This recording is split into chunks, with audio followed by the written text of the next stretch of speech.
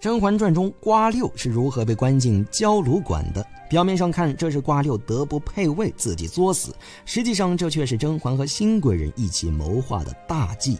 这期咱们就来唠唠真心二人组如何圈进瓜六。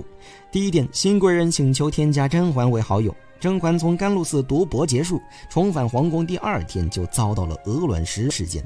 为了查清这背后究竟是何人所为，甄嬛装出一副懂事儿的模样，想借皇上的手去查。不料皇上前一秒还说肯定有人指使，后一秒却大事化小，小事化了，拿抬轿的人开刀。甄嬛借皇上之手无果，只能自己动手。大内密探小允子查清鹅卵石的来龙去脉之后，甄嬛迎来了她锁定的新瓜这两名嫌疑人。原本甄嬛打算在这场请安会上试探一下新瓜，结果新瓜这对舍友不仅心不和，面儿上也懒得装。尤其是新贵人用啊气走了瓜六之后，更是快人快语向甄嬛发起了添加好友的请求。这到底是不是局中局呢？甄嬛重新回宫，还没来得及摸清宫中局势，所以对于新贵人发送的好友请求，甄嬛既没有同意，也不拒绝，而是派小允子搬出一盆矮子松试探新贵人。目的就是看看鹅卵石是不是出自新贵人之手。除此之外，甄嬛还通过她的前员工佩儿，把新瓜这对舍友的爱恨纠葛前后了解了个遍儿。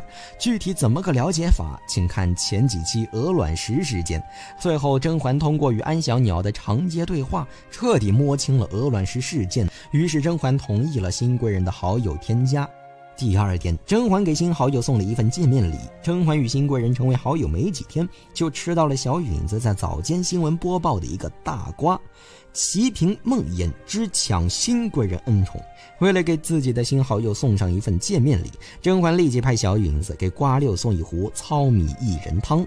对于这碗汤究竟有何功效，动动您那发财的小手，再往前翻翻往期视频，不管是深度解读还是过度解读，总之甄嬛派小允子送去的这碗糙米薏仁汤，彻彻底底的给新国人打了个翻身仗。只是省了一壶糙米薏仁汤，都能让太后称赞，可见不仅那些和瓜六一流的嫔妃不敢放肆，瓜六本人更是不敢顶风作案。这样一来，新贵人恩宠自然不会被梦魇抢走。第三点，真心联手设局，引瓜六入坑。新贵人收下甄嬛送的见面礼之后，便开始与甄嬛热聊如何圈进瓜六的大计。最终，甄嬛决定借皇上之手。于是，当皇上紧巴巴的跑去陪甄嬛吃饭时，饭还没开动呢，前线就传来消息说瓜六病了。好家伙，这句话只有梅姐姐听进去了。瞧着皇上没有去看瓜六的意思，甄嬛主动出去说什么瓜六平时身体倍儿棒，如今派人来说病了，指不定真是有什么事儿。一番哄骗之下，皇上不情不愿地走向储秀宫。这个杯子摔得妙啊，就差直砸皇上脑门了。前一秒还说这病了的人，这会儿怎么这么泼妇？皇上气坏了，却还要忍着怒气问怎么回事儿。他犯了什么错？你要这么打他？无视臣妾，以下犯上。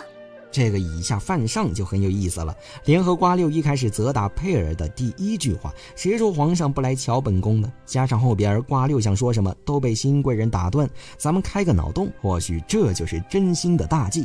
按照瓜六对新贵人不满就打佩儿的做派，很有可能是新贵人嘲讽瓜六，说着什么你就是把你的梦魇供起来，皇上也不来看你之类的话。而瓜六经过新贵人的激怒，开始责打佩儿。之后，甄嬛收到消息，领着皇上去看戏。在这场真心蓄意圈禁瓜六的大战中，还有一个重要的角色——佩儿。这不对呀！前边佩儿的伤势是淡淡的红，这会儿就变成了触目惊心的红，这里边绝对有猫腻。